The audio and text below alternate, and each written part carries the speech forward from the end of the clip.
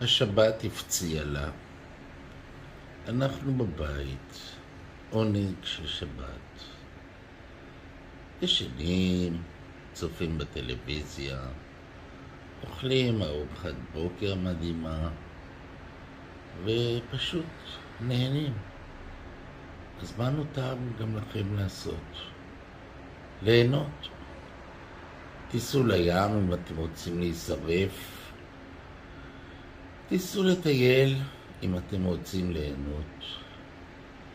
פשוט אל תשכחו לממש את המשפט ואהבת לרעך כמוך.